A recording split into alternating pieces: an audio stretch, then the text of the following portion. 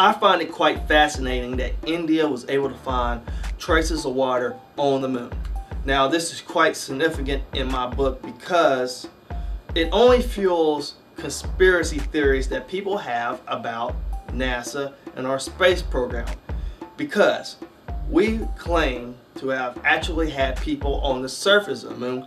On the other hand, India sends a probe that goes around the moon and scans the surface and was able to bring back this data. I mean, it, to a lot of people, it doesn't make sense that we actually had people on the surface of the moon a couple of times who could not bring back this data.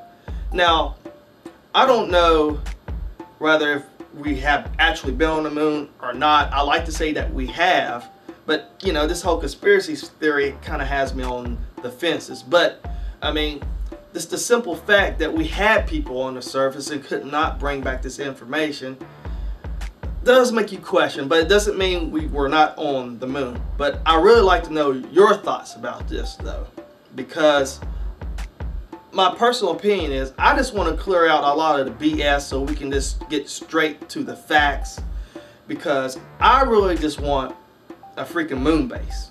Bottom line, I want a moon base on the moon before I die. Why?